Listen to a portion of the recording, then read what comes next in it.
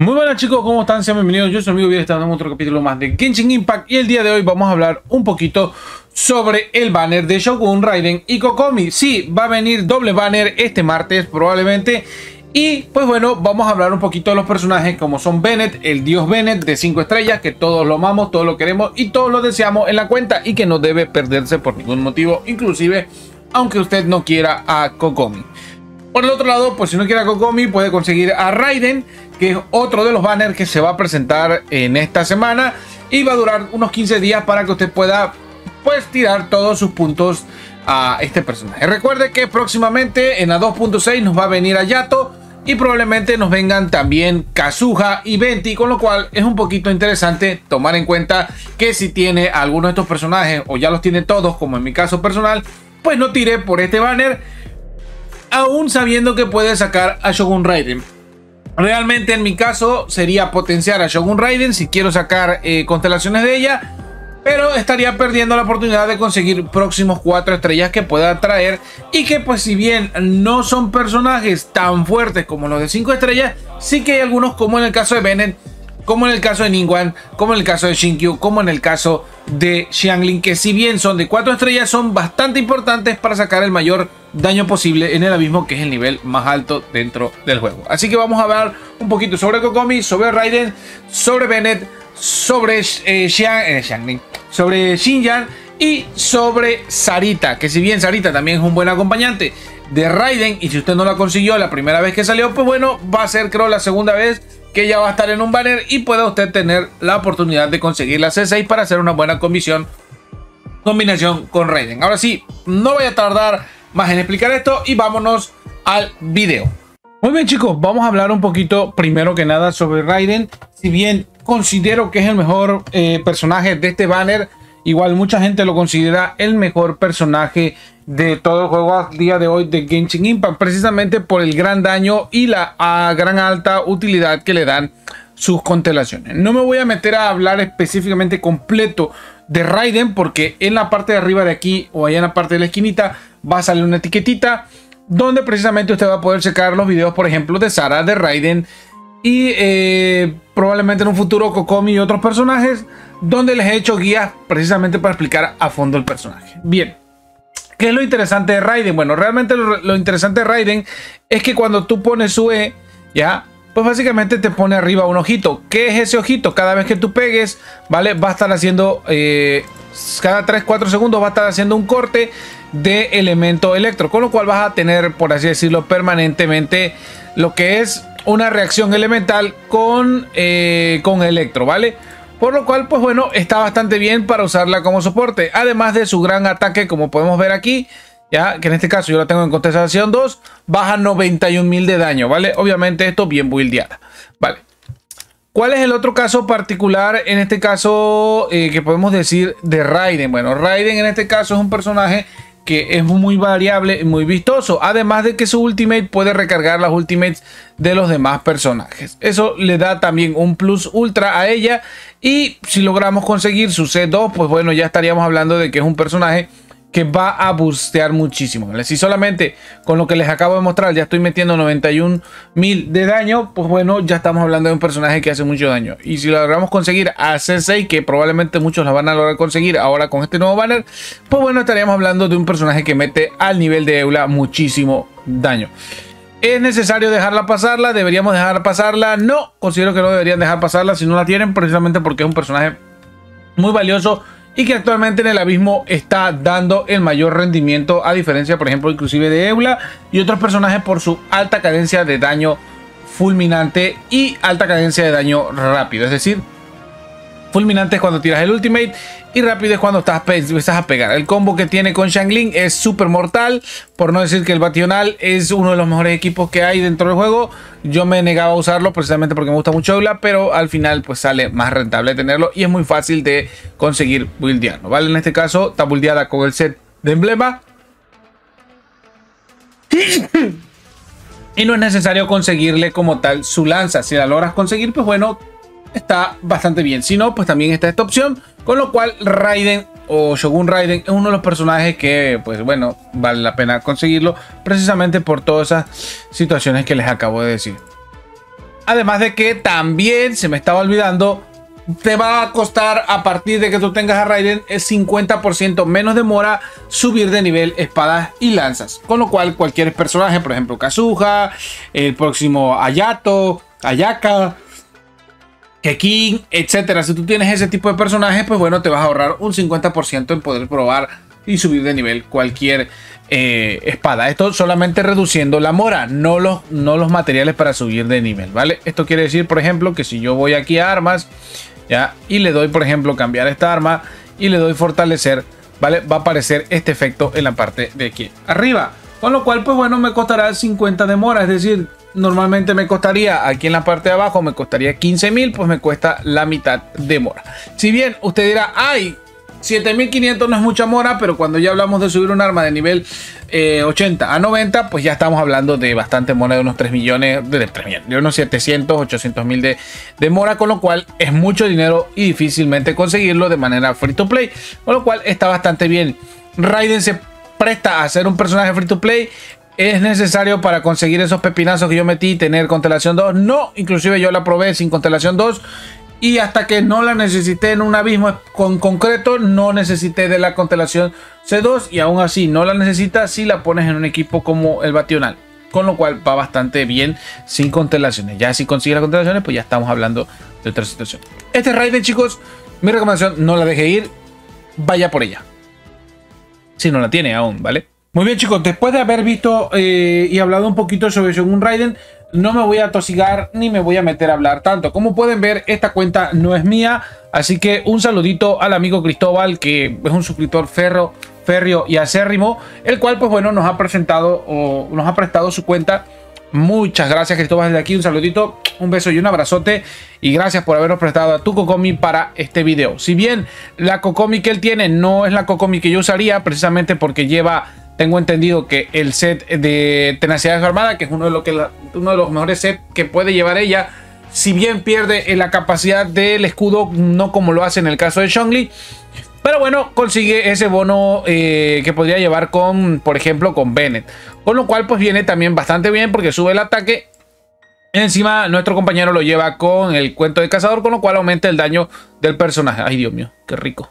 Bueno, en fin, me distraigo. Bien, Chicos, eh, Kokomi es uno de los personajes más lindos del juego, por no decir que es la más linda del juego. O una, bueno, sí, la verdad es que es una más linda, por no decir que también es joven, es una joven de 16 años, esto lo vemos en la historia y nos lo explican precisamente también en su eh, texto e información, pero bueno, no venimos a ver eso. Vale, cosas interesantes de Kokomi, puede llevar varios sets, puede llevar, como ya dije, en este caso este set, puede llevar también el set de Inazuma, el cual se llama, déjenme por aquí, eh, por acá, es este creo. ¿Vale? Que también se llama eh, la perla oceánica, que le viene bastante bien por los bonos de curación y el daño que hace la burbuja. Si bien Kokomi tiene un problema, y digo problema porque realmente no es un problema, es parte del personaje, en el cual, eh, pues bueno, tiene menos 100% de probabilidad crítica, con lo cual, pues bueno, nunca vas a ver a Kokomi metiendo un crítico, salvo que le pongas todo full a probabilidad crítica, con lo cual te quedarías sin curar, con lo cual perderías pues básicamente la habilidad máxima del personaje. Bien, ¿Cuáles son las ventajas de Kokomi? Bueno, Kokomi prácticamente eh, no va a hacer mucho daño, entre comillas, y digo entre comillas porque no quiere decir que no lo haga. Como podemos ver, ahí la medusina va haciendo 6600, un daño normal para cualquier personaje. Y obviamente, si lo tuviéramos con el otro set que les mencioné, que es la perla oceánica, pues bueno, estaría haciendo bastante daño, ¿vale? En mi caso personal, yo he usado ese set con mi Bárbara, con lo cual pues viene bastante bien. Igual Kokomi, por ejemplo, con su Ultimate, si lo tenemos buldeada bastante bien a recarga de energía, ¿qué es lo que va a pasar? Pues va a curar prácticamente casi instantáneo a los personajes. 800 de curación por golpear a cada vez. Volvemos a tirar la medusita. Volvemos así y hacemos intercambio eh, intercalado para que nunca perdamos el daño. Como pueden ver, ya le bajé la mitad de la vida. Que no es moco de pavo bajársela a este tipo. que es el, mi tipo, el de siempre, el de pruebas. Me gusta usarlo para pruebas. Y es muy difícil que te mate a Kokomi precisamente porque es un buen tanque al nivel de, Bennett. Si bien no tiene la habilidad de Bennett, por medio de habilidad sí que la tiene por medio de, ¿cómo se llama? Del set que le puso, en este caso nuestro amigo Cristóbal, el set de, em, ¿cómo se llama? Geoarmada. Por lo cual está bastante bien, como pueden ver Kokomi se empieza a curar, se cura y no solamente se cura ella. Por ejemplo, si hay un compañero herido, pues también lo va a curar de la misma manera, ¿vale? Además, Kokomi, al ser de agua, ya que es algo que no mencioné con los otros, eh, con el otro personaje como Raiden, al ser un personaje de agua es prácticamente único en el lore del juego. ¿En qué sentido? Son muy pocos los personajes que existen de agua que realmente pueda sacarle el provecho, ¿vale? ¿En qué sentido? Por ejemplo, por tipo elemental, vamos a escoger el tipo elemental, ya sea en este caso de hidro, ¿ya? Y como podrán ver, son realmente poquitos los personajes de hidro. Son realmente cinco en total, entre los cuales, pues obviamente, a mi compadre le falta la mejor agua o hidro, que en este caso sería Mona. Y en cuanto a daño, en cuanto a daño, y pues bueno, tenemos a Barbarita, que si bien Kokomi es como una versión plus extra de Kokomi, digo de Bárbara, pues está bien. Tenemos a Shinkyu, que también es una potencia al nivel de Bennett en cuanto a daño. Bueno, Bennett no a daño, pero bueno, en cuanto a soporte es bastante bien. Tenemos a Tatalia, que si bien es un DPS, al final no terminó gustándome mucho, pero bueno, no tiene nada que ver. Tenemos en este caso, como ya dije, a Kokomi, no está enfocada a hacer daño, más sin embargo no quiere que decir que haga que no haga daño. Si usted le pone el set que les acabo de mencionar, que es la perla oceánica, puede llegar a meter 150, 200k constantemente a cierta cantidad de tiempo debido a que el set de perla oceánica tiene un cooldown interno, el cual pues obviamente hay que cumplirse para hacer cada cierto daño.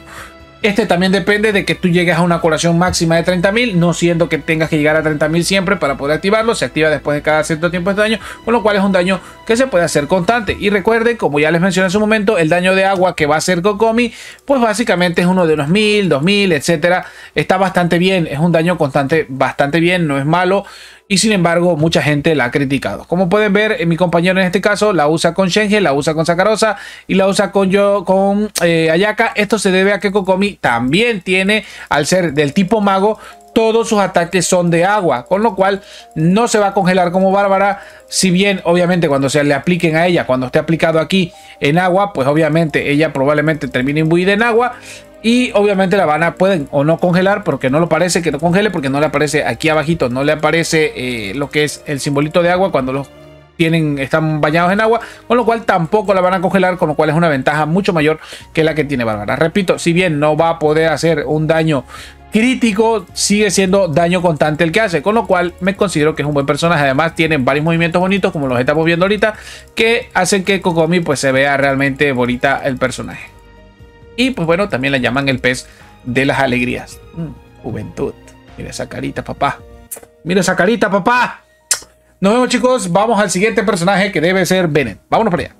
Bien, chicos, después de, haber hablado de Kokomi, vamos a pasar al dios de este banner. Que si bien no está al nivel de Eula, en cuanto de Eula, de, de Raiden, estoy eh, enamorado de Eula. Si no está bien al nivel de Raiden sí que es uno de los personajes que presenta la mayor, si no mm, presenta una de las mayores, si no es que la mayor utilidad dentro del juego de Genshin Impact. Este es un personaje que si bien tiene una historia de trasfondo de mala suerte, es un personaje que tiene mucha, mucha buena suerte con todos los personajes del juego. Es decir, Bennett se presta a poder llevarse en todos y cada uno de los equipos por su gran utilidad. ¿A qué me estoy refiriendo? Si bien aún no le he hecho, no sé por qué, video a, a Bennett. Pues bueno, Bennett tiene muchas cualidades, entre ellas que puede curar mientras está subiendo el daño al enemigo, digo al enemigo, al personaje eh, acompañante si bien hay que tener mucho cuidado de no desbloquear la constelación número 6 porque esto haría que Bennett pues haga más o menos lo mismo que hace Chonjun, que es poner un campo, en este caso de fuego. Eh, Chonjun lo pone de hielo, con lo cual hay que tener mucho cuidado de no activar esta constelación hasta que mejor yo ponga en algún futuro cómo poder quitar las constelaciones sin perderlas. Es decir, para hacer las pruebas con personajes sin constelación. Además, Bennett considero que es uno de los personajes que si bien eh, desde el principio del juego lo hemos ligado al set de Ritual de Nobleza, no es el único set que puede llevar. También puede llevar eh, el set de eh, la Flor Escarlata, que en este caso es el de... ay Dios, se me va el nombre del set este. De Bruja Carmesí, ¿ya? O Bruja Escarlata, que es lo mismo más o menos. Pues bueno, eh Puede llevar otro tipo de set. Bene también se puede llevar de diferentes formas. Lo podemos llevar como DPS. Lo que pasa es que como DPS tendríamos, o considero que tendríamos que sacarle la C6. Con lo cual, pues bueno, a muchos no les va a gustar la idea. Bennett es muy versátil a la hora de usarse, es súper fácil, no, me, no necesitas hacer tantas cosas, simplemente llegas con Bennett, le pegas un golpe, puedes hacer un ataque cargado, si es que lo llevas a DPS, ¿ya? Con lo cual va a quitar bastante, en mi caso no quita mucho porque es un Bennett que prácticamente fue hecho mitad y mitad. Yo lo tengo actualmente mitad y mitad, es decir, mitad daño, mitad ataque, con lo cual está bastante bien. Todos aquellos que estemos dentro de eh, la ulti de Bennett, vamos a aumentar nuestro ataque en una proporcionalidad al ataque de Bennett. Esto ténganlo mucho bien cuidado porque el ataque de Bennett simplemente se incrementa en base al daño que en este caso sea blanco, ¿vale? Esto ténganlo muy en cuenta porque podemos decir, ay, es que si Bennett le pongo un arma cualquiera y le aumento el daño por artefactos, pues va a aumentar más el daño del personaje. No funciona de esa manera Bennett y hoy con lo cual solamente subirá el daño de esto. Si bien lo único malo, podemos decir así, digo malo entre comillas porque realmente no es malo, es que Bennett sí va a ser Bennett dependiente de un arma. En este caso la Kila Favonius, que es el arma más pesada, o sus otras dos variantes, llamémoslos variantes porque no son variantes. Eh, las otras dos armas que es el halcón de Jade y no me acuerdo cuál es la otra, son dos armas que tienen la mayor cantidad de daño o le dan eh, alguna particularidad como más vida o como más problema crítico, etcétera. Cuestiones que le dan ventajas a Bennett que puede, pues bueno, darse el lujo de perder un poquito de ese ataque básico de 674 por 634. Eso es muy una, miseria en el caso del halcón de Jade. Con lo cual, pues bueno, le potencia la vida. Recordemos que Bennett cura a través de la vida y aumenta el ataque a través de su arma. Con lo cual, pues Bennett se ve muy dependiente, eh, ya sea que lo llevemos a DPS o ya sea que lo llevemos a soporte, pues se ve dependiente de su arma. Es lo único que, pues si quieres a Bennett, no es que no, no, lo puedas usar, de hecho con cualquier arma lo puedes usar. Yo en su principio del juego lo usaba con, eh, creo que esta arma, ¿dónde está? ¿Vale? Lo usaba yo con esta arma, luego lo cambié a esta otra, el rugido del león. Y por ahí debo de tener alguna otra que usaba al principio del juego. Inclusive lo estoy usando en mi segunda cuenta con la Menoma a nivel 4 y va flying el Bennett. Eh, repito, por lo general lo llevamos soporte. Algunas personas prefieren llevarlo a DPS. Bueno, eh, eso es cuestión de cada quien. Algunos prefieren ponerle, por ejemplo, aquí en el, en el casco como a mí me gusta y siempre me ha gustado y nunca me ha defraudado, es el Bennett de curación. Con un casco de curación evitamos todo el daño posible con Bennett y aumentamos la capacidad de curación. ¿Esto a qué se debe? Si bien Bennett tiene un tope de, de el 75% de curar a un personaje, cualquiera que esté en su campo, pues si le aumentamos la curación va a mantener curando súper rápido a los personajes. Con lo cual, mientras sufras una hostia, pues no te van a matar por muy, muy grande que la hostia esté, puesto que Bennett te va a curar súper rápido. Con la única fatalidad que vas a perder mucho daño de eso. Podemos poner a Bennett mitad y mitad, es decir, eh, configurarlo de tal manera que lleve el 50% de probabilidad, lleve por lo menos unos 50% de daño crítico y lo demás vaya a vida para que cure bastante bien también funciona. Pero ten cuidado que en algún pepinazo te pueden llegar a matar y con lo cual pues ya no sería tan buen healer como tal Bennett. Su función es soporte, no recomiendo que lo lleven a DPS, pero no quiere decir que sea malo. Recuerden, Bennett pone un campo de fuego, con lo cual puede activar rápidamente con ataques básicos o con su habilidad lo que es el set de Bruja Carmesí, con lo cual metería mucho daño como DPS. Eh, en algún momento lo he visto en, el caso del compañero Tieso, creador de contenido también, lo ha traído alguna vez con el Kekin Fire, ¿vale? que no es moco de pavo, si pega bastante duro esa combinación de que King y Bennett en C6. Y bueno, ya eso depende de cada quien. Mi recomendación es saque a Bennett. No se olvide de conseguir su constelación, por lo menos la 1, para que pueda activar lo que es la curación de vida y lee el ataque, aumento de ataque al mismo tiempo. De lo contrario, pues bueno, solamente se activará, si usted tiene el 75% de la vida, se activará lo que es el aumento de daño y si no, pues bueno, el aumento de vida si es menor al 75% de vida. Con lo cual, pues bueno, aquí está Bennett. Si bien me doy el tiempo de hablar bastante largo de él, porque vale la pena que usted lo consiga. No lo deje ir, por favor, porque en mi cuenta secundaria es uno de los requisitos necesarios para pasarse, pues, mm, el abismo. En algunos casos, no tanto, porque hay otros personajes como Diona, como puedan ser este. Ay Dios. Como puede ser Goro en Constelación 6 para curar, como puede ser. Eh, se me va ahorita el nombre no es Amber, iba a decir, como puede hacer también el personaje de Bárbara. Hay muchos healers, ya hay muchas composiciones, inclusive está Shongli, están varios personajes que cumplen ese rol de cubrir a los personajes. Pero nadie da tanta utilidad como Bennett. Bennett cura, Bennett ataque, Bennett prácticamente te inmortal. Bennett eh, aparte puede llevarse nobleza. Eh, bueno, ¿qué más puedo decir de Bennett? ¿Vale? Bennett es el dios como todo el mundo lo conocemos. Y bueno, esta es mi pequeña eh, explicación de Bennett. Consíganlo, vale la pena. Solamente este personaje vale la pena independientemente si escoge a Kokomi o si escoge a Raiden. Pues ya les va a aumentar muchísimo la cuenta en general para sus equipos y el daño se va exponencialmente para el cielo. Así que vamos con el siguiente personaje. Muy bien chicos, tenemos en este caso a Sara. Con Sara no me voy a meter mucho a hablar, puesto que básicamente es como un Bennett entre comillas, y digo entre comillas porque su recarga de energía tiene un problema muy, muy, muy grave, ¿vale? Te permite obtener recarga de energía o partículas de energía, que es algo realmente necesario para cargar a los personajes del mismo elemento, o para cargarse a sí misma para usar la Ultimate. Ustedes saben que la Ultimate es una habilidad que permite que tu personaje o haga más daño o dé una utilidad o encima de esto permita cargar más rápidamente a eh, otros personajes. Por lo general todos los personajes lo hacen con la Q, digo con la E, con lo cual, pues bueno, con simplemente pegar o hacer algo, pues bueno, ya generan partículas.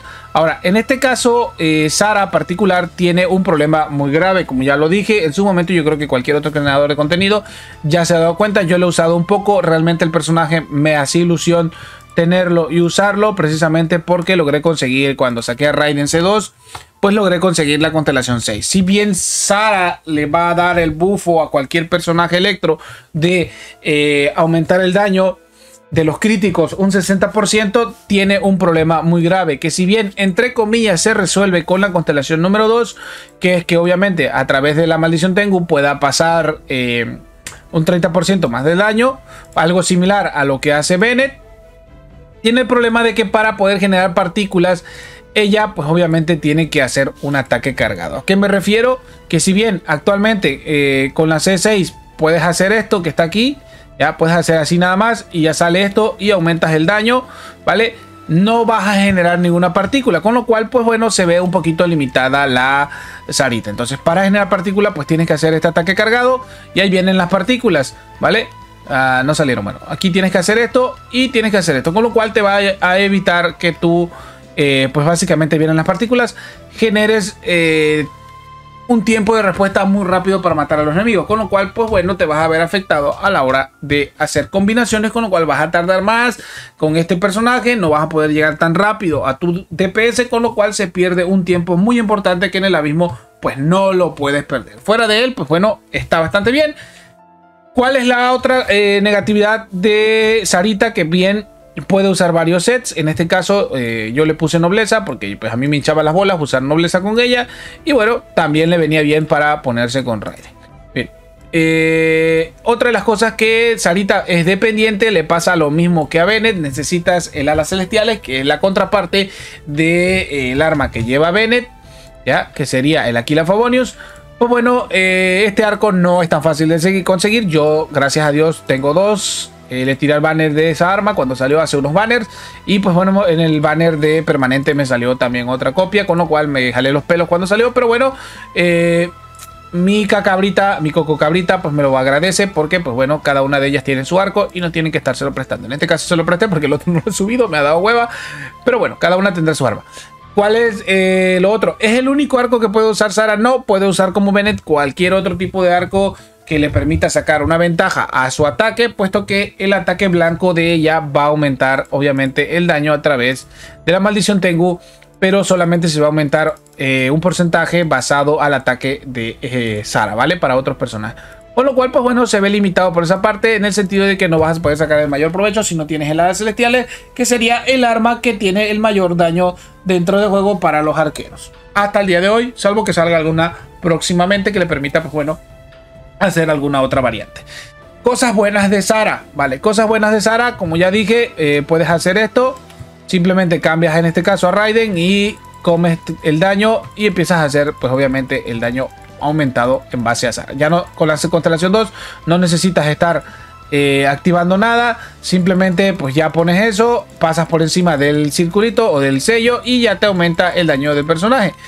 Si bien su ataque eh, Ultimate se incrementa bastante al tener Constelación 6, no es un personaje que destaque muchísimo precisamente por esa mala mecánica que tiene. Si bien es una mecánica interesante, diferente a cualquier otro personaje arquero, pues no es tan rápida como el Bennett que llega, pega, pone ultimate y se va para su casa y se lleva sus eh, ¿cómo se llama? Y se lleva sus partículas, con lo cual, pues bueno, es mucho más accesible Bennett. Por esa razón no es comparable a Bennett, más sin embargo en el daño de compartirlo está bastante bien. En la recarga no, pero en el daño de compartirlo y el daño que inclusive el personaje hace, además de la además de recargarse bastante rápido, entre comillas, pues bueno, está bastante bien. ¿Qué otras cosas buenas le puedes sacar a Sara que valgan la pena? Pues aparte de las armas, los artefactos y los talentos, pues bueno, no hay mucho más que hablar de ella. ¿Vale la pena conseguirla? No, no considero que valga la pena si realmente no te gusta el personaje y o no pretendes sacarle el mayor provecho que sería pues prácticamente ponerlo con el set justo como el de Raiden que sería el de emblema para sacarle realmente el mayor partido. ¿Por qué? Porque su ataque cargado realmente no profesa un daño muy alto y lo que realmente vale la pena de ella, pues tampoco es que valga la pena perder tanto tiempo por un bono que es muy, muy pequeño, ¿vale? Si bien se compara entre comillas al de Bennett, no es que sea tan bueno, ¿vale? Así que chicos, este es Salita y vamos por el siguiente personaje. Muy buenas chicos, Vamos a pasar en este caso a Xinjiang. Eh, si bien no me gusta hablar mal de ningún personaje de Genshin Impact, porque todos los personajes son bonitos y de esto fue, este es un personaje que a mí realmente me llama la atención. Es muy diferente a todos, es muy bonito visualmente también. Eh, el problema de este personaje es que precisamente fue el primer personaje después de Razor que realmente aportó, por no decir que fue el primero, que aportó una mecánica nueva a los elementales. Es decir, si bien no es un personaje que va, va, perdón, si es un personaje que está ligado al fuego, es un personaje que saca el mayor de sus daños a través de constelaciones y es un personaje de daño físico, un daño que si bien no es fácil de aumentar precisamente porque no podemos usar un personaje Nemo que guste como tal el elemento sino que al revés merece otro tipo de combinaciones como son electro con fuego, perdón, electro con hielo para bajar resistencias. Y es ahí donde está el problema de este personaje, no porque sea malo, no porque no sea fácil de jugar, no porque no sea agradable de verlo. El problema es que precisamente al necesitar de una combinación de electro hielo y ella ser de fuego, pues tenemos la mecánica de que eh, si bien el electro con el hielo va a bajar la resistencia de elemento, eh, perdón, de físico, va a bajar la resistencia físico. Cuando entra en contacto el electro con el fuego, hace algo que se llama explosión. Si bien explosión es el efecto de combinar eh, electro con fuego, es el daño más grande en área del juego. Es uno de los daños que mejor aprovecha el daño AOE, es decir, área de efecto en un área bastante grande, con lo cual afecta a muchos enemigos tiene la particularidad de que, como ya dije, es una explosión, manda a volar a los enemigos. Les voy a mostrar algo más o menos para que usted entienda de qué estoy hablando, ¿vale? Voy a electrocutar a uno de estos enemigos y voy a aplicar este el elemento fuego, ¿vale? Para que usted vea lo que pasa, ¿vale? Ah, vale, se pusieron arriba. Vamos a aplicarlo aquí. Vamos a bajar a mi colega porque está aquí arriba. Denme un segundito, lo bajamos. ¿Vale? Una vez que ya lo bajemos, pues simplemente voy a aplicar esto aquí. Nuevamente voy a aplicar el de Xinjiang. ¿Y qué pasa? Manda a volar a todos los que esté en el campo, aunque no tengan eh, lo que es el efecto, que se llama sobrecarga. Nos manda a volar y al mandarlos a volar en el abismo, pues no es que particularmente vaya a ser muy agradable. Porque recordemos que en el abismo lo que queremos es mantener a los enemigos juntos lo más posible para ahorrarnos el tiempo. Es decir, hacer multi daño a multi objetivos.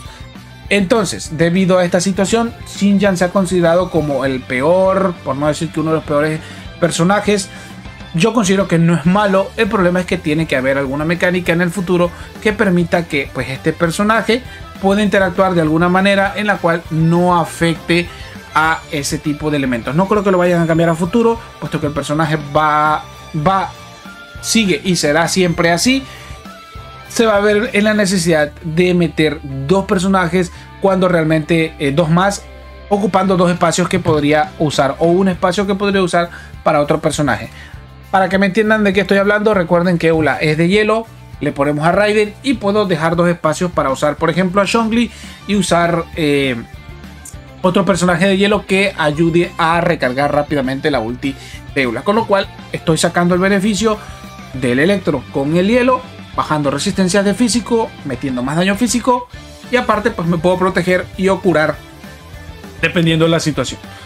Por el otro lado, Xinjiang, si bien se va a ver busteada por el daño fuego, debido a que puede, por ejemplo, combinarse con Bennett, va a necesitar un electro y un crío, con lo cual, pues bueno, no va a ser tan fácil de conseguir debido a esta situación de que ya va a entrar en contacto fuego, electro y crío por lo cual van a ser derretido, van a ser este, sobrecarga y van a ser algún que otro tipo más de combinaciones. Con lo cual, pues bueno, vamos a tener siempre ese problema de la reacción explosiva que va a mandar a volar los enemigos. Fuera del, eh, contexto de mandarlos a volar, considero que es un personaje bastante bonito, divertido. Consíganlo, pruébenlo, por lo menos para echar el meme y la risa y pasárselo bien. ¿Es un mal personaje? No.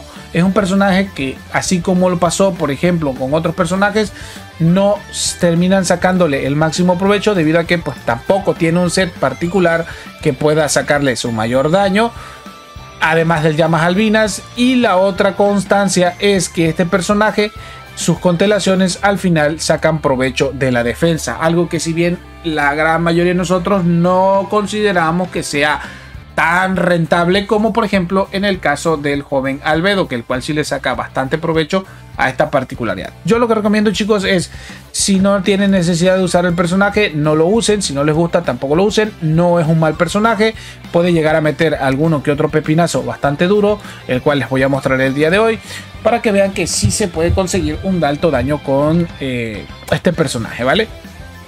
Vamos a recargar primero y posteriormente vamos a ver eh, cómo podemos pues básicamente sacar ese pepinazo, ¿vale? Como pueden ver aquí tiro el ulti y mete bastante daño, ¿vale? 2000, 2000 y cacho, inclusive llega a pegar golpes de 6000 eh, cuando usted baja la resistencia o más, o sea, mal no está el personaje, daño sí tiene. El problema es eso, que no puede sacarle constantemente la reacción de Electro y Crío precisamente por la sobrecarga o la explosión. Y ese es el grave problema que tiene el personaje. Así que chicos, bueno, vamos a concluir lo que es este video para pues obviamente hablar sobre eh, al final si vale o no la pena tirar a este banner. Después de haber hablado sobre lo que es el banner de Shogun y Kokomi, después de haber hablado de cada uno de ellos, vale la pena que yo tire por este, por este banner. Si particularmente ya tienes dos de estos personajes en Constelación 6, o porque obviamente como en mi caso personal ya eres un jugador de inicio desde que inició el juego, valga la redundancia porque lo repetí dos veces, pues no vale la pena conseguirlo, precisamente porque yo en mi caso particular, como pudieron ya ver, ya tengo todas las constelaciones de estos personajes y si bien aunque me gustaría sacar algo con no me es rentable porque estaría tirando mis gachapones de manera burra y absurda. Si por ejemplo a usted le falta constelaciones de Bennett, no lo piense dos veces, tírele o al de Kokomi o al de Raiden, consiga todas las constelaciones de Bennett y pare hasta ahí. Si realmente usted quiere sacar a Kokomi, saque a Kokomi por tenerla si usted quiere sacar a Raiden porque le falta Raiden, porque le faltan constelaciones Sara, porque le faltan constelaciones Bennett, tírele a muerte a Raiden. De las dos considero que la mejor es Raiden.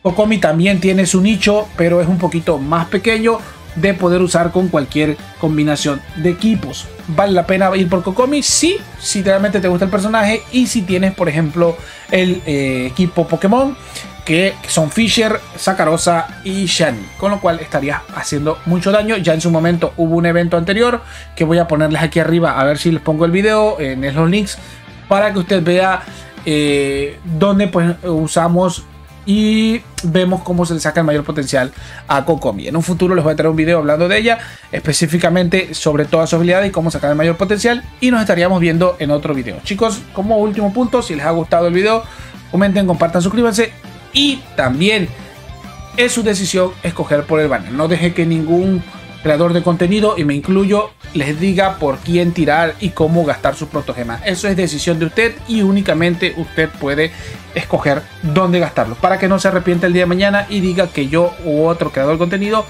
le obligó a tirar por ese banner. Yo soy Vir, me despido y nos vemos hasta la próxima. Cuídense, bye.